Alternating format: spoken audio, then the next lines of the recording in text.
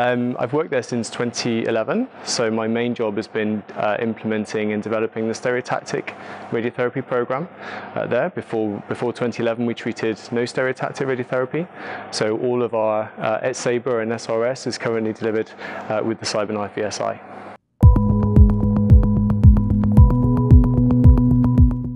Uh, whenever anyone asks me this question, I always say the same thing, which is um, my job is to try to make sure as close as we possibly can we're getting the right dose of radiation inside the patient in the right place.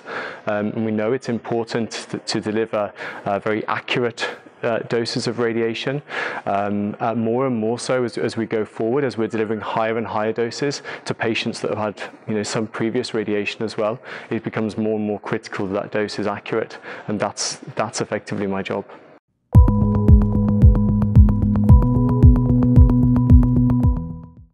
We know that uh, radiotherapy cures or plays a part in curing 40% of all cancer patients, yet it only attracts about 5% of the whole uh, NHS cancer budget. Um, so it's, it's not particularly satisfactory, and if we, are going to make headway compared with our European neighbours, uh, we, need to, we need to get our government to understand that. There was a recent survey uh, regarding SABR access in the United Kingdom, and in 2018 we were doing a lot better than 2012. Uh, so uh, SABR centres were up from 23% to 59% in that six-year period. So big improvements, but there's still quite a lot of regional variation.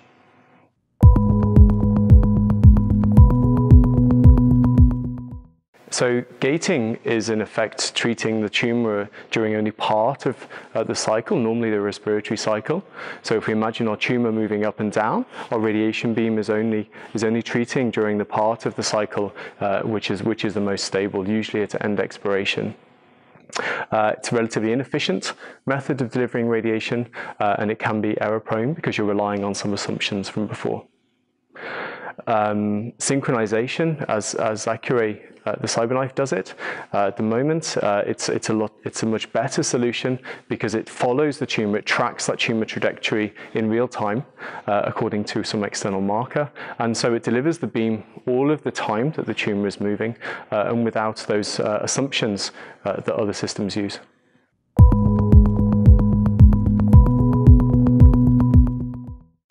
The synchrony system is, is very important for our patients. Uh, we see a lot of patients that have existing uh, lung disease on, as well as their cancer.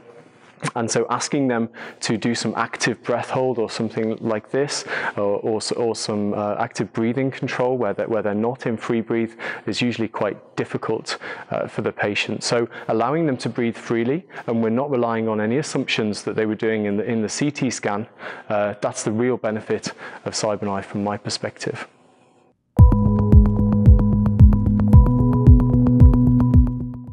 In terms of, as we, as we know, we, we, we use uh, gating uh, for conventionally fractionated uh, radiotherapy as well. But when we're talking about delivering stereotactic radiotherapy, um, in, the, in the lung cancer case, for example, we're delivering nine times the normal dose of radiation per day. So being, being sure of where that tumor is in space is, is way more important than in conventional radiotherapy. And also, if we're tracking the tumor in real time, it means that we're, we're significantly reducing the amount of normal lung uh, that's getting those that's getting those very very high doses in stereotactic radiotherapy.